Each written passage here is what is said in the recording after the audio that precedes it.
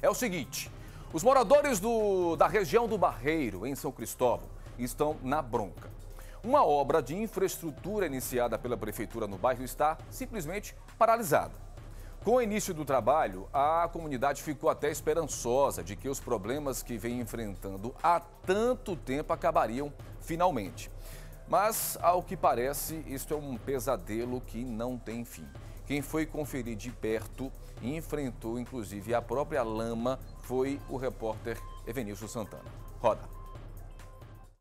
Lama de um canto a outro. É assim a situação aqui do Jardim Universitário no município de São Cristóvão, conhecido como Barreiro, um nome até sugestivo pelas condições que a gente encontrou.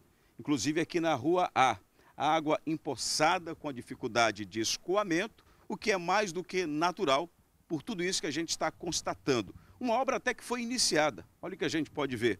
Os paralelepípedos estão ali.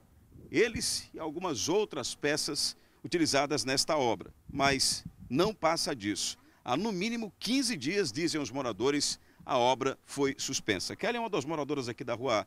É, tem exatamente esse tempo, Kelly? Isso. 15 dias. É. E a prefeitura, você sabe o porquê? Não, o que o povo está falando aí é que porque ele, o prefeito não pagou os trabalhadores, né? Eles deixaram a obra. Aí deixou a obra pela metade. E a gente quer saber como é que vai ficar, porque não passa carro, deixa essas pedras aí no meio do caminho, buraco por todo lado e fica di, difícil para a gente passar, né? As crianças, porque mais lá para frente está cheio de buraco, que eles cavaram e deixaram lá. E o risco à saúde, hein? Pois é. E a água se acumulou agora aqui mais na porta, né? Tem essa casa que está aqui abandonada. O que você acha disso aí? Uma calamidade, né? Mas São Cristóvão é assim mesmo, né? Fazer o quê? Olha, ela não é a única moradora a reclamar sobre esse problema, que não é de agora. Deixa eu conversar com esse senhor. Outra vez a gente teve aqui, ele estava até dizendo, olha, parece que vão melhorar, mas até agora nada, né? Até agora nada, meu amigo. Na vida da gente assim, é deixa para pior aqui, ó.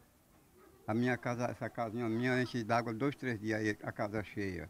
O prefeito teve aqui, disse que a obra ia andar, que a coisa ia acontecer e nada. Começou devagarzinho e parou de uma vez agora. Pronto. Você não sabe por quê também? Eu não sei não, rapaz, não sei dizer por quê, parou.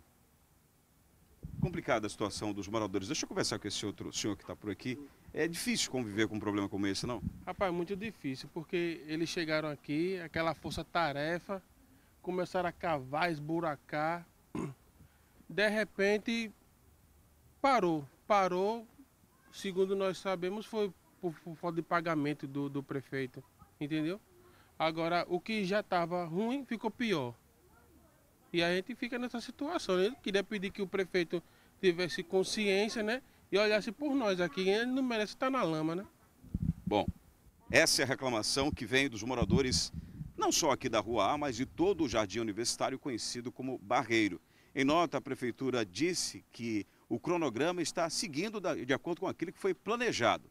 Não é o que a gente consegue constatar, não tem ninguém trabalhando mas que logo, logo a situação vai ser resolvida. Pelo menos é o que foi dito pela Prefeitura, que a Secretaria de Infraestrutura estaria é, tendo uma reunião com a empresa terceirizada que executa a obra para encontrarem uma solução, de que no mais tardar, em uma semana, a obra deve ser reiniciada. Pelo menos foi o que disse a Prefeitura através de uma nota. Vamos aguardar. Evenilson Santana, para o Balanço Geral.